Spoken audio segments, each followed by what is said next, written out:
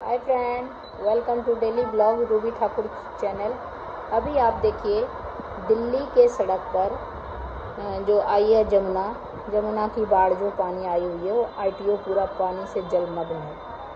आप देखिए, जल जीवन, जन जीवन जो है, जल स्तर इतना बढ़ गया है कि जन जीवन अस्त व्यस्त हो गया। है पूरा रोड पे पूरा आप देखिए, किस तरह करके पानी पानी ही पानी दिख रहा है।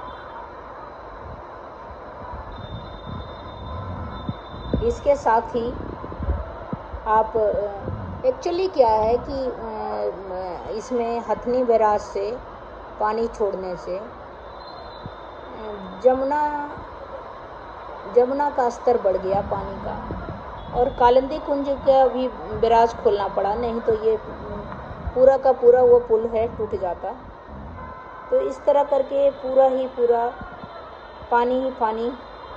दिल्ली का क्या है? ओल्ड दिल्ली इलाका जो है, वो जलमग्न है।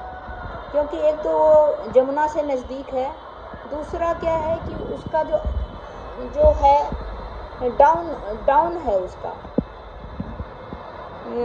ओल्ड दिल्ली जो है न्यू दिल्ली के कंपेरिजन में जमुना के करीब है, और इसका जो लेवल है डाउन है। इसीलिए आप देखिए, लाल किला में पूरा पानी चला गया है।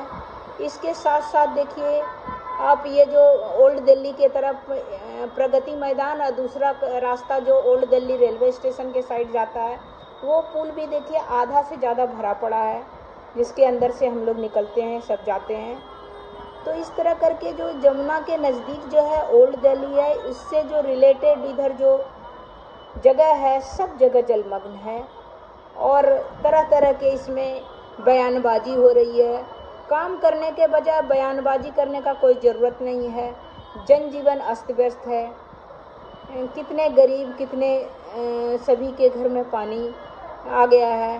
खाने का, पीने का, सारा चीज़ का असुविधा है। आप देखिए कैसे युवा सब ड्यूटी जा रहे हैं या कहीं पर अपना घर से निकल के कहीं जा रहे हैं। कोई फंस गया है।